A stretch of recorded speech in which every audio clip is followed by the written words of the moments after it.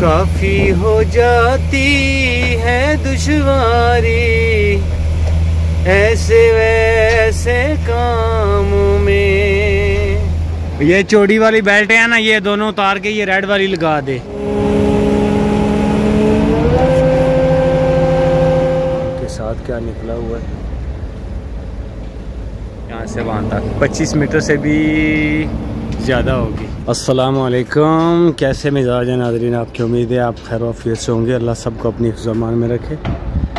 आज का छोटा सा विलाग आपके साथ शेयर करें। यहाँ पे हम काम करने आए हैं। ये क्रेन हमने खड़ी की है और मस्जिद में मैं आया था पानी पीने।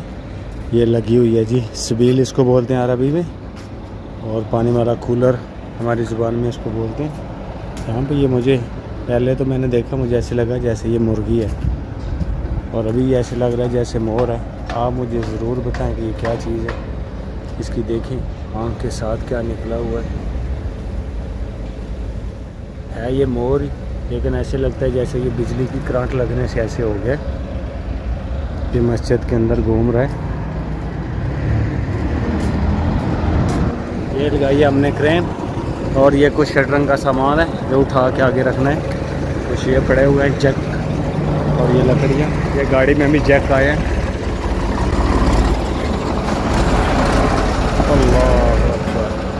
बस बस, काफ़ी काफ़ी।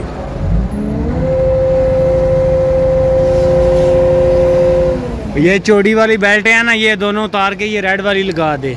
उनमें से चौड़ी बेल्टें उतार दे, उसको एक को काट लगा हुआ है, कहीं टूट ही ना जाए।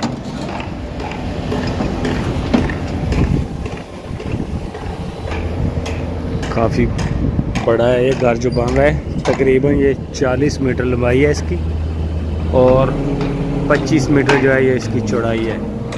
यहाँ से वहाँ तक। 25 मीटर से भी ज़्यादा होगी और 40 मीटर जो है इसकी लंबाई है। तो 20 टन क्रेन के लिए काफ़ी मुश्किल हो जाता है। दूसरी साइड पे भी क्रेन लगने की जगह है। ये पिलर है, करते भी आधे आधे इस साइड के जो एक दफ़ा कर लेते हैं, ये तैयार होने में कंक्रीट। और दूसरी साइड के जो वो कुछ दिनों के बाद कर लेते हैं। उनके लिए भी काफ़ी मुश्किल होता है इतने बड़े काम को तैयार करना। इस वजह से ये सारा इन्होंने अपनी शटरंग का सामान रखा हुआ है यहाँ पे। फलाइयाँ और ये मरबुआ बोलते हैं इसको मुरबा और ये जैक है, ये जो नीचे स्पोर्टें लगाते हैं। इस तरह बुनियादों से इसको मज़बूत करके ले आते हैं और यहाँ पे आके जो है ऊपर पिलर बनाते हैं।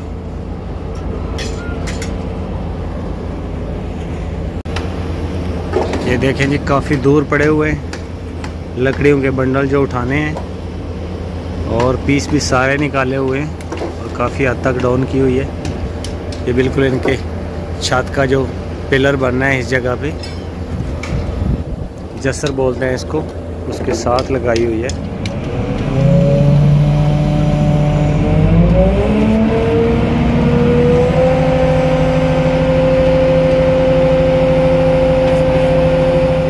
साइड पे उतार रहे हैं ये लकड़ियाँ। ये जो पिलर्स की लकड़ियाँ ये बिल्कुल इसी तरह रहने देते हैं क्योंकि ये दोबारा ऊपर वाले जो फ्लोर के पिलर बनेंगे, उनमें इनके काम आएँगी क्योंकि अक्सर जो पिलर है, उनका साइज़ एक ही होता है। लेकिन अगर किसी में थोड़ी बहुत तब्दीली करनी पड़े तो ये उसी लकड़ी को जिस तरह फट्टी जोड़ के उसके साथ मुरबा लगाया होता है, उसी को यूज़ कर लेते हैं। तो ये पिलर्स के लिए ये इस्तेमाल होती है। और छत की लकड़ियाँ ये दूसरी होती हैं, पलाइयाँ वगैरह लगाते हैं जैक वगैरह लगाते हैं। फट्टी भी उसमें यूज़ होती है, लेकिन सबसे ज़्यादा पलाई और ये मुरबा इस्तेमाल होता है और ये जैक इस्तेमाल होते हैं छत की शटरिंग में। अभी ये वाला जो बंडल है, ये सबसे दूर पड़ा हुआ है। ये थोड़ी खेचा तानी करके ही उठाना पड़ेगा। ये मैं जूम करके दिखा रहा हूँ, इसलिए नज़दीक लग रहा है, लेकिन है ये काफ़ी दूर। तो ये खींच के ही उठाना पड़ेगा, क्योंकि और मज़ीद क्रेन डाउन नहीं हो सकती, ये देखें पट्टी के साथ लग गया बूम बिल्कुल। इसलिए इसको थोड़ा जगह खाली है तो मैं खींच लूँगा और थोड़ा घिसट के आगे आ जाएगा तो फिर मैं उठा लूँगा जब क्रेन की रेंज में आ जाएगा। अभी देखें ये काफ़ी दूर है और मैं थोड़ी थोड़ी वायर अप कर रहा हूँ और ये थोड़ा सा सड़क के नज़दीक आ जाएगा।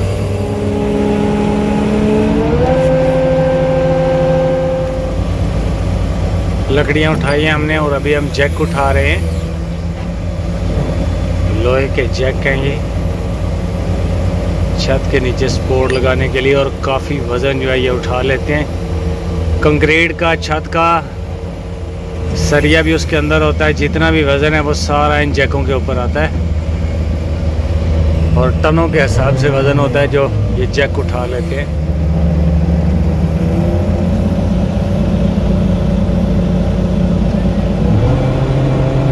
ये सारा लोहा ही होता है और इनको उठाने से बड़ा डर लगता है क्योंकि ये काफ़ी वज़नी होता है और इनकी कोशिश होती है आगे से आगे रखवाएँ। इसलिए ये चेक उठा के डाउन करते वक्त जो है वो ऑपरेटर बहुत एहतियात करता है।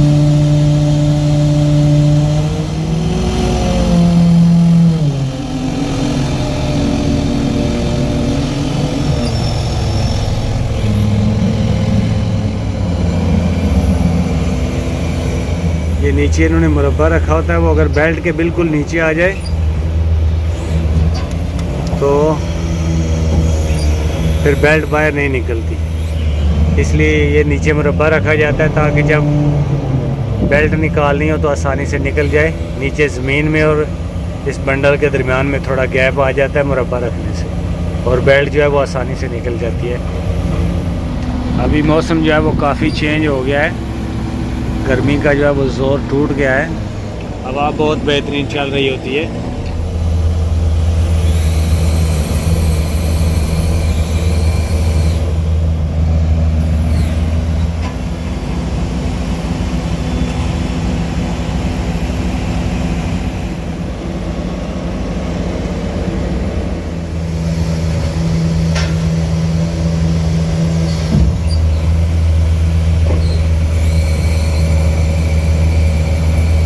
काफ़ी हो जाती है दुश्वारी।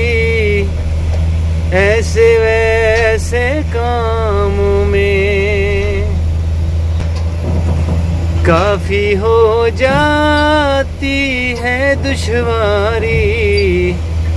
ऐसे वैसे कामों में